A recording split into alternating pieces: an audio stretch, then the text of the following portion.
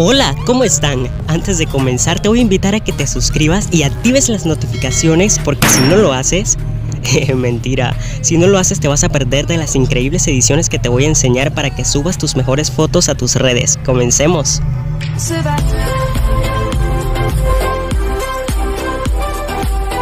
Y bueno gente, para hacer este fan edit vamos a estar utilizando la aplicación que se llama Me. Es una aplicación que vuelve captura las fotografías, así que si no sabes utilizarla o cómo descargarla o dónde descargarla, te invito a que veas mi anterior video. Aquí vamos a estar seleccionando un efecto, el que ustedes deseen. En este caso voy a estar seleccionando este y lo que tenemos que hacer es que vamos a seleccionar la fotografía que deseamos volver una caricatura. Una vez seleccionada le picamos a esta flechita y ya se va a procesar nuestra imagen. Una vez esta aplicación termine de cargar, vamos a guardar la caricatura en nuestra galería.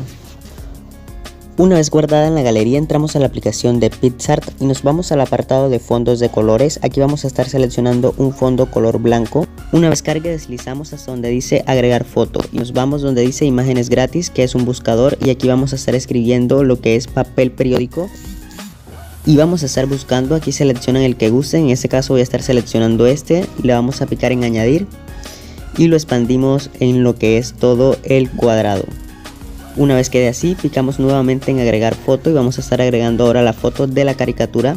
Vamos a entrar a las configuraciones y vamos donde dice recorte y le picamos en persona. Esto nos va a seleccionar la persona y nos va a borrar el fondo. Una vez quede así, le van a picar en guardar y se les va a agregar. Luego lo que van a hacer es que lo van a expandir al gusto.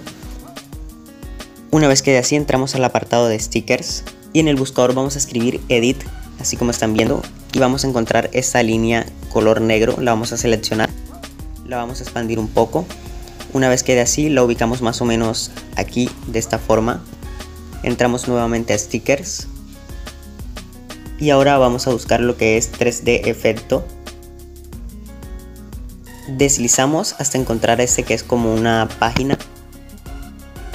Lo expandimos, lo giramos y lo ubicamos también al gusto. Como pueden ver aquí se ve muy real, se ve muy bien. Solo queda ponerle una sombra, así que deslizamos hasta donde dice sombra y ajustamos la posición. Una vez quede así, picamos fuera de la pantalla y nuevamente vamos a entrar a stickers. Aquí mismo en 3D efecto vamos a encontrar lo que es eh, como una especie de mariposas. Ustedes las seleccionan y las ubican al gusto. También aquí mismo picamos en texto y ponemos uno, le ponemos un trazo, una sombra